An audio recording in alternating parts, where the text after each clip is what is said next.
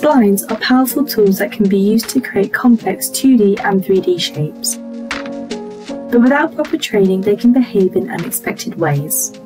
We'll show you how to work with and control splines better so you can continue developing your designs with ease. Let's walk you through our top tips for working with splines. With a little time and patience as you put these into practice, you'll be able to master the spline tool and maximise your design potential. When creating a spline, it's best to use a picture or sketch that can be brought into SolidWorks which can then be traced with a spline to create an outline. For this example, we'll be using the outline of a sun. It's best to increase the transparency so when you create splines, you can see where you're placing them more easily. This picture has been scaled to be 250mm in height and centred to the origin. As with any standard SOLIDWORKS sketching, start your spline from the origin or appropriate reference point. For this, we'll use a construction line to help anchor our spline. This is especially important with splines, as well as start and end points being anchored to the origin, they may start misbehaving, creating more problems down the line. Now we can really get splining. The spline tool can be found on the Sketch tab. Starting from one of the reference construction points, we'll sketch a rough outline using the peaks and troughs of the images as points. You don't need to be particularly precise as we tidy splines up as we go. Try to place as few points as necessary as it will give you more control when you come to adjust your splines. A typical rule of thumb is to only place a point where a curve changes direction. Constraining a spline with relations will help to minimise its movement.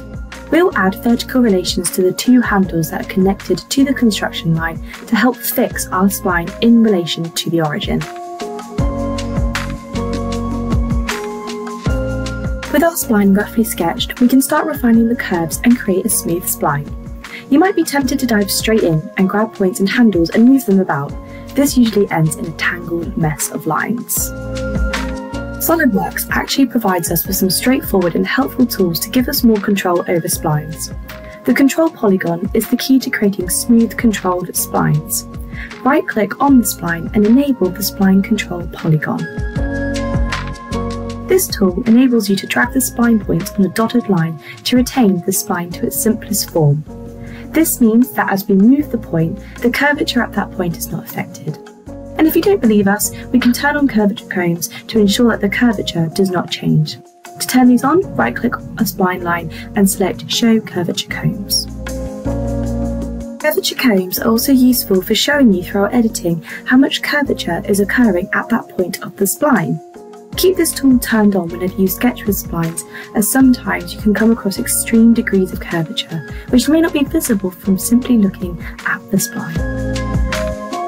As you can see, the more we use our polygon, the less extreme those curvature combs become. Even though we've used our polygon to adjust the points, there are still a few areas which don't sit perfectly on the edge of the image.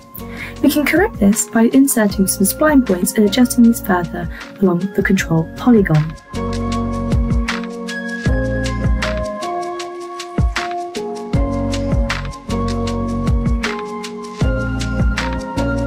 There's often no correct answer to exactly where a spline should go, so once we're happy that the spline points are positioned as we need, we'll modify the spline's curvature using the spline handles.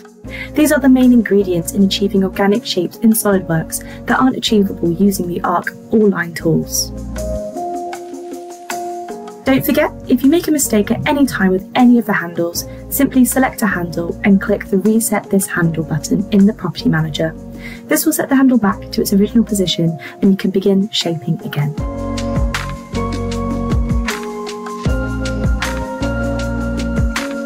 To save time when sketching, we recommend utilising symmetry when possible. As we've sketched out one side of our spline and want to create some more organic variation in this design, we can use a construction line as an axis of symmetry and half our workload.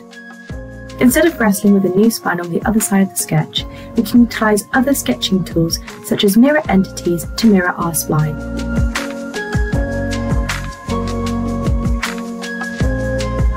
We'll tidy up the second half using the spline control techniques we've explored.